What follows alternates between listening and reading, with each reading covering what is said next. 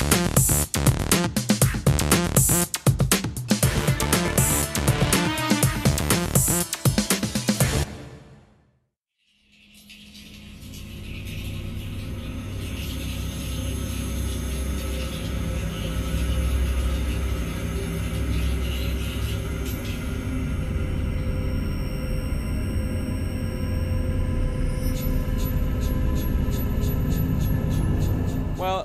E3 is about some sexy ass hardware, and I don't think we can get anything quite as sexy as a Razer laptop. Would I be correct, Kevin?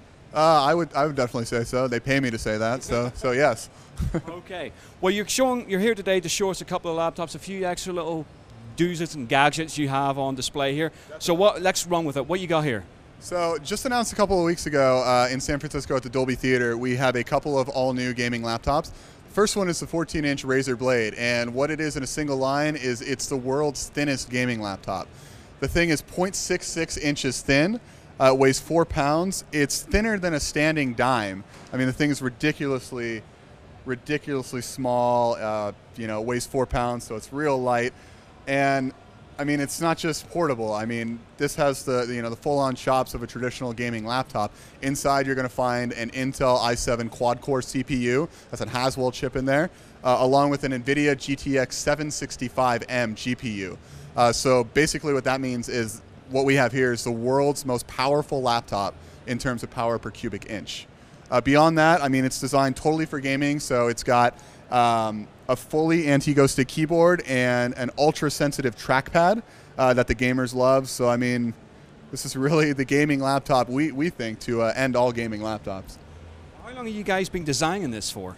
Um, that's a good question. I mean, our, our design process is typically years. Uh, this one uh, has been in development for quite a while. We don't release anything at Razer until it's ready. Um, and this one, I mean, just looking at some of the finer points of this, I mean, even the USB ports you can see there, they're Razer green.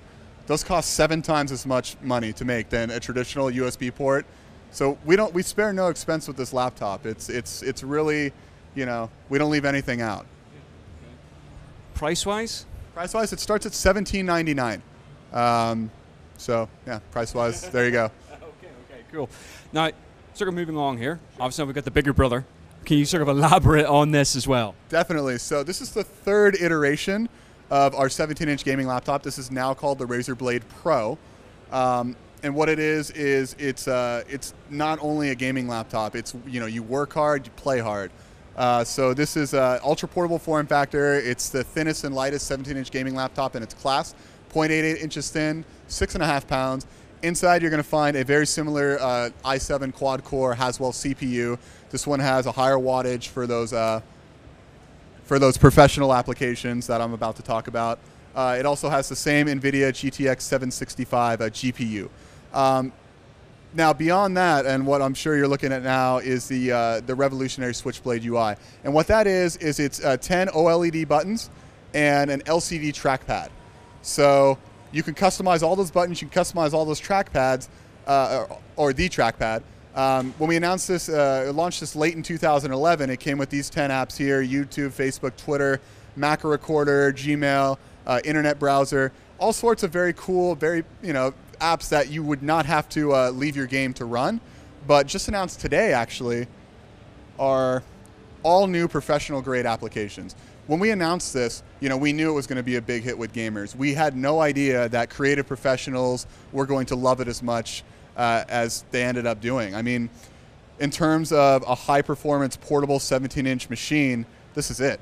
Um, and so, with that, today we've announced or we've launched uh, all new professional grade applications. We have Adobe Premiere, Adobe Photoshop, GIMP, Maya, UDK. Um, all sorts of uh, applications that these creative professionals, whether they're doing video work or photo editing or you know uh, software development, are, are going to want to use. Um, so we're really excited about that, and uh, we actually have a program just for these creative professionals where if they funded a successful Kickstarter campaign or um, or they're software developers or whatever, they can apply at uh, www.razerzone.com/creative-pro uh, to get a steep discount off this laptop. So we really want to get it out there to the uh, creative professional community more, so you know they can enjoy all the features that the gamers are loving right now. Gonna say the feedback from that must be phenomenal. No, I mean it's it's been it's been great. These new systems have been you know tremendous to work with, and we're really happy we have them. Well, how are you setting up with, with the two of them? I mean, are, are you dictating that uh, one will be for a particular type of person, one or the other? I mean, how, how are you balancing that and promoting the two?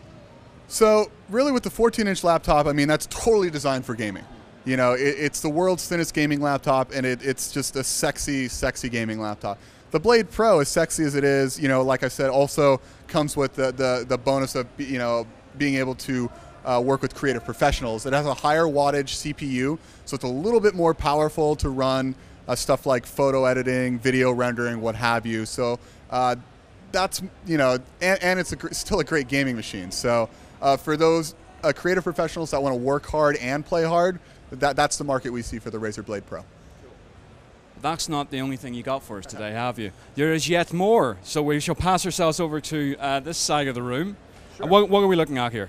So this was announced earlier this year at the uh, Consumer Electronics Show. That's CES 2013. This is the Razer Edge. This is the world's um, first tablet computer designed for PC gamers. This actually won overall best of CES over more than 20,000 other products, which was, you know, an amazing feat for a company like Razer with more, less than 500 people. Um, so a little bit about the Edge. It's the most powerful tablet in the world. It comes with an i5 or an i7 CPU and an NVIDIA GT640M uh, GPU. Uh, so I mean, with that, you're able to run you know your favorite hardcore PC titles on the go. Um, and beyond that, it's not just you know it, it, doesn't just run Windows RT. This is full Windows 8. Uh, so it's basically a good way to look at it is a full-fledged gaming laptop that you just chop the keyboard right off. Um, and then it's not just a tablet, but it's a tablet, it's a PC, and it's two types of consoles. So right here we have it in gamepad, uh, in, uh, in mobile console mode with the gamepad controller. Uh, so any Xbox enabled PC title, anything that supports X input, you'll be able to play with the uh, the gamepad controller here. Uh, we don't, you know, we have also have a home console mode where you can dock it into a home docking station. Has an HDMI out, has three additional USB 2.0 ports, uh, so you can hook it up to a larger display and enjoy your favorite PC games on a large screen. Uh, it's you of course got tablet mode for your favorite uh, touch-based titles like Civilization 5 or Angry Birds, what have you. Um, and upcoming in Q3, so right around the corner, we're going to have a keyboard dock.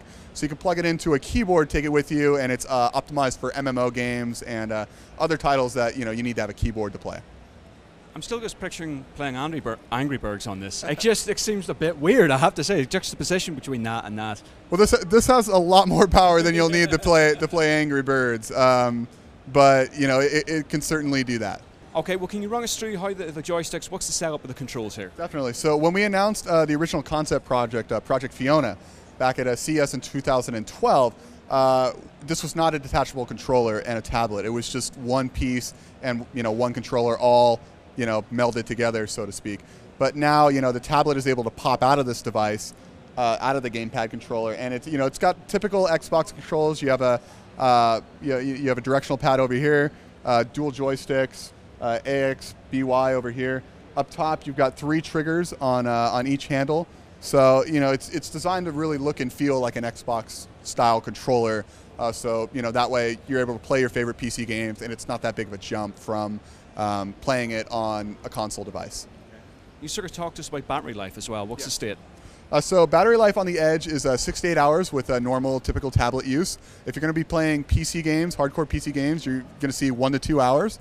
Uh, we offer an extended battery pack that actually fits into the gamepad controller and will fit into the keyboard dock as well. That is designed to extend that battery life a bit more. All right, exciting the US. What's the situation for Europe? Right. So we're not selling in Europe just yet. Uh, we, you know, we hope to. We definitely hope to in the future to support gamers worldwide. That's that's one of our that's one of our goals at Razer.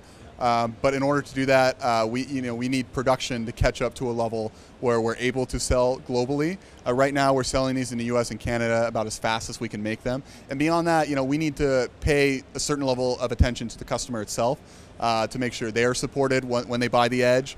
Um, so in order to do that, we need to build up our own customer support function within you know each country within the EU in order to you know begin selling systems there. But that's something we hope to do you know in the near future. Are you looking to reiterate on this in the future? I mean, it, you've released it, it's cool and everything like that, but I mean, I guess you guys are always tinkering away with ideas. Well, uh, here at Razer, you know, we've we've always taken a stance that if PC gamers demand it, we'll make it.